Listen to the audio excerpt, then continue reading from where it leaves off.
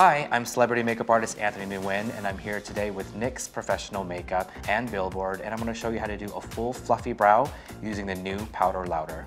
What's trending right now is full fluffy brows, and you can see this trend on celebrities like Beyonce or Sabrina Carpenter, and I wanna show you how to do this in just one easy product. So I'm gonna jump in with the pencil and start off with the spoolie, brushing up the hairs. And with the soft and fluffy brow trend, it's all about the brows just being very soft and delicate. There's not supposed to be any hard lines. For the center of the brow, I'm just going to softly draw in some hairs. What's great about this product is that there's fibers, which gives you this instant thickening effect. And with the fluffy brow look, you definitely want to brush up the hairs just to make it look nice and groomed. You really can't go wrong with this product. It's so beginner friendly.